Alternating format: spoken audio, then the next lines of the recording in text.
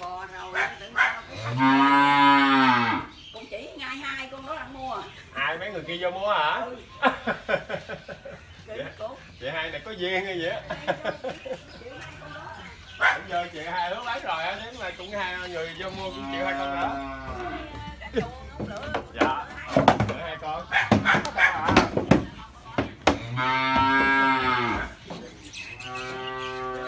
Duyên nè. cái anh nhỏ nằm lúc như mà không quả còn cái anh này thì chứ mà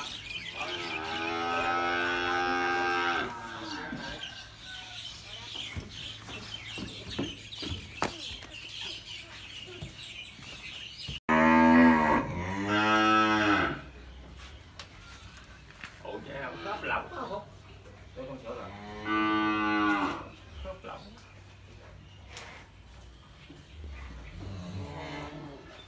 mà tôi cà phê về đây là cái não dạ dạ đi đi rồi là dùng ra dùng ra phút máy mắt cũng được. rồi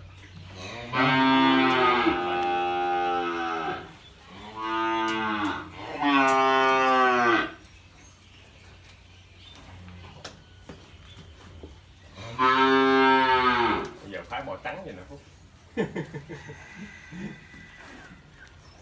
dạ, dạ.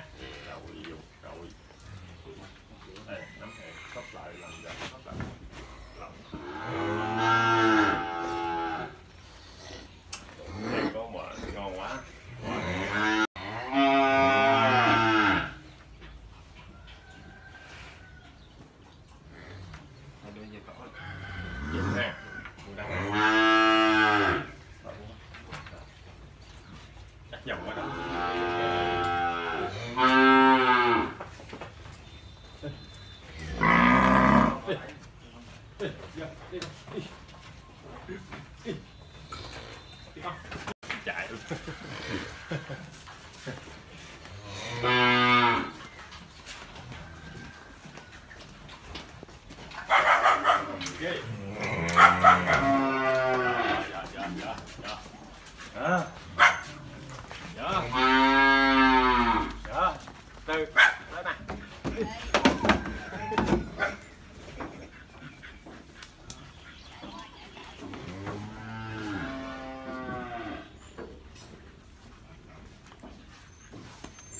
Để không bỏ lỡ những video hấp dẫn